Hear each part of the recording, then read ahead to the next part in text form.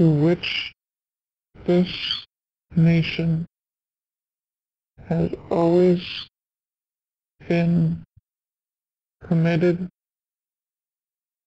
and to which we are committed today.